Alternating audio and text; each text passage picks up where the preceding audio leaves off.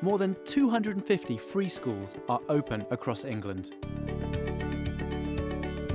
Funded by government and free to attend, these brand new state schools offer a high quality education to children from all backgrounds.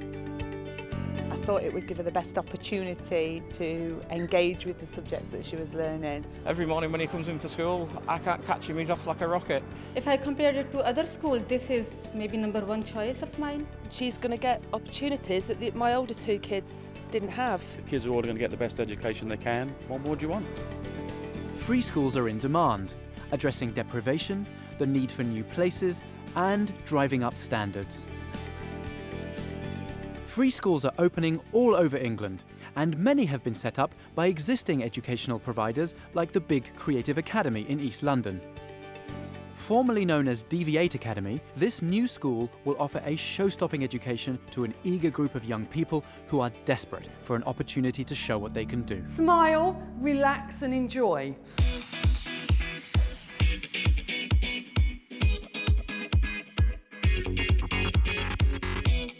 Welcome to DV8. What's unique about DV8 is that we're small and that we are going to focus on the creative arts. The creative and cultural sectors have traditionally been predominantly white and middle class. We need to see more people from different diverse backgrounds working in the media and the performing arts and drama and dance and really work with those young people to give them the opportunity to open those doors. Since 2000, the Big Creative Education Group has been offering courses in the media and performance arenas. In September 2014, they set up a new free school to give more people the chance to access their education. I think it's a really big thing for East London, for DV8 to be here on this scale. Young people come to us because they want to work in music and media, and, and that's what we're here to fulfil. It's a hard industry to get into. You really have to come in with experience and passion. At the academy, we just felt that it's going to just open it up to so many more students. Two months before the free school opened, prospective students were invited to an open day to give them a flavour of what's ahead.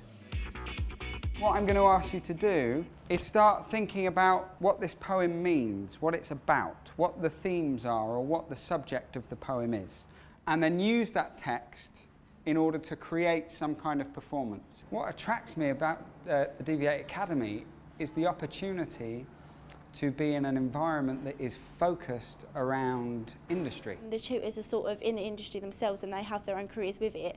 They know what they're talking about, so like it's more comfortable to talk to them. It's not like teachers like telling you what to do and like sort of writing on the whiteboard and then you're doing that. It's more hands-on. We've not decided on what the academy is going to offer just based on what we think. There's been lots of conversations with employers and with different sectors to get from them what they want from our young people. What happens to a dream deferred? Does it dry up? Like a raisin in the sun. Oh. Or fester like a sore and then run? Does it stink like rotten meat? Maybe it just sags. Like a heavy load. Or does it explode? Performing it, it, it just lights me up. I, there's, there's no words I can describe it. I love doing it. It's a, and DV8, I think, can open a lot of doors for me to get places. They have everything. Like you're able to meet other people. You're able to explore your ambitions. You can basically do what your dream like you can actually accomplish something. It's not always easy. Some of the young people that we work with although they're passionate and they're enthusiastic there's a lot that needs to be done to support them before they're ready to learn. So DV8's an excellent platform for working with those rough diamonds. And before those rough diamonds can be polished big creative academy needs to get its new staff up to speed and working as a team as with all free schools, Big Creative Academy's New Start means teachers have a chance to build a curriculum from scratch. So with just four weeks to go, the head teacher has organised a staff training day. For some of you, it's the first time you've seen some of the team you're working with. So for me, a really, really warm, warm welcome. it's absolutely vital at the start of a new place that everybody uh, does muck in and do practical things as we've been doing. Everyone's very enthusiastic and you know I think we're all going to work very well together. It feels like a family already and I'm really excited about joining the academy. I'm really excited about being in a brand new school because I get to help set the the tone, shape the culture and really shape the experience that students are going to have here. We've got three weeks now before the students start. I know we're going to blink and they're going to be with us. For me, it's about how we get ourselves to the point of being ready when they arrive.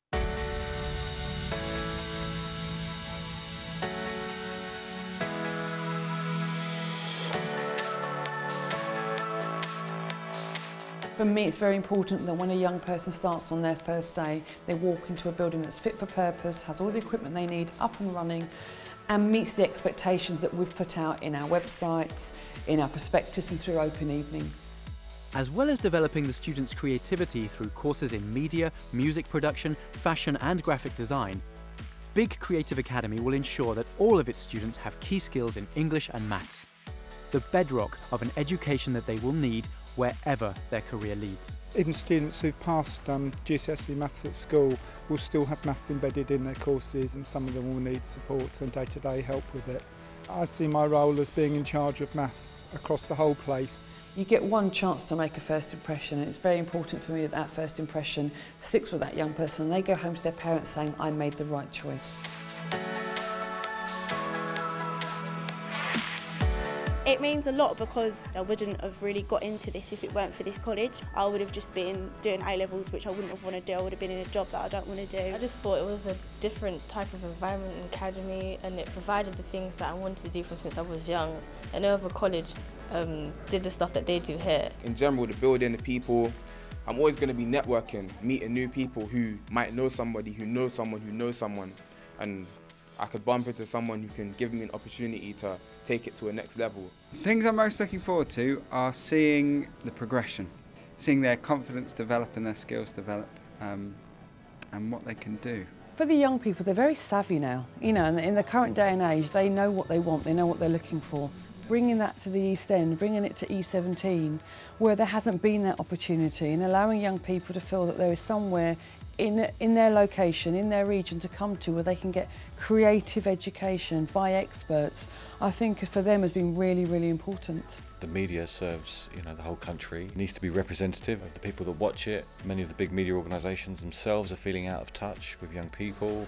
I think the key to it is reimagine education, which is a very exciting thing for teachers and for students alike see what their hopes and dreams are and hopefully supporting that. I really like it. The whole atmosphere is good, the teachers are very good. I'm ready for the challenge. This is really what I wanted to do, so it is really great that it's here.